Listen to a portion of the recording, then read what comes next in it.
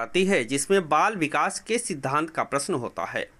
तो इस अध्याय की महत्वपूर्ण बिंदुओं का वर्णन हम निम्नलिखित रूप में स्पष्ट की, कर सकते हैं।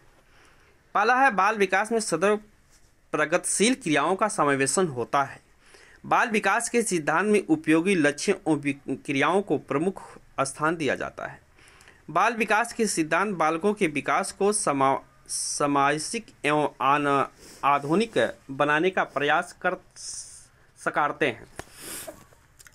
विकास की प्रक्रिया प्रकृति सरल एवं स्वाभाविक विकास के सिद्धांत पर आधारित होती है। विकास की प्रक्रिया किसी एक स्थान पर संपन्न न होकर सार्वभौमिक रूप से संपन्न होती है। इसे सार्वभौमिकता का सिद्धांत का अनुकरण भी किया जाता है। ये मोस्ट इंपॉर्टेंट होता है क्वेश्चन बालक विकास की प्रक्रिया में व्यक्तिगत विभिन्नता का कार्य का सिद्धांत कार्य करता है, क्योंकि प्रत्येक बालक में विकास गति भिन्न भिन्न रूपों में होती है।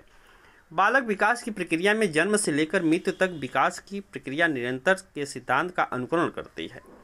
बालक के विकास की प्रक्रिया सिर से पैर की ओर विकास क्रम के सिद्धांत का अनुकरण करती है। बालक विकास प्रक्रिया में विकास का संबंध एक दूसरे विकासात्मक पक्षों से होता है तथा सहसंबंध का सिद्धांत कार्य करता है।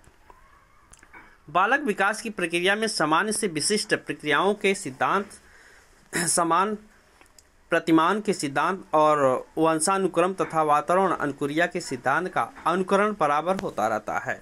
तो आइए इस चैनल को लाइक तथा कमेंट कीजिए तथा ज़्यादा से ज़्यादा शेयर कीजिए। इस चैनल पर हमें लॉन्ग और शॉर्ट वीडियो उपलब्ध हैं। इसे देखकर आप अपने एग्ज़ाम में शत प्रतिशत अंक ला सकते हैं।